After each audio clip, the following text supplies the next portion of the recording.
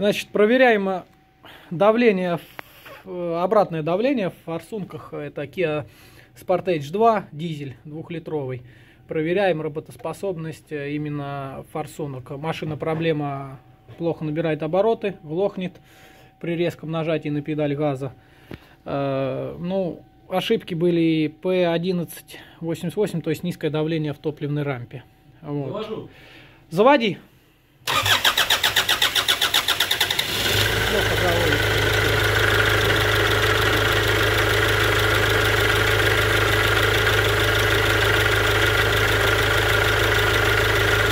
Вот это менял. Да. Здесь сразу как. Вот это не бог. Да еще пока неизвестно. Минута.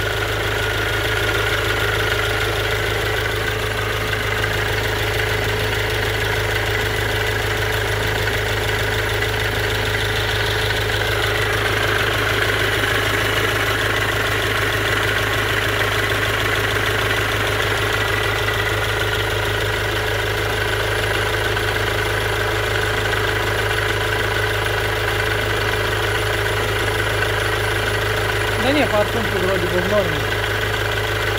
Сколько кубов должно быть? Да там, если больше 15, Скажешь, когда до 15 норм. Сейчас скажу. Глуши! Ну вот видим то, что вот как бы форсунка делалась в третьем цилиндре, то есть она вообще идеально работает.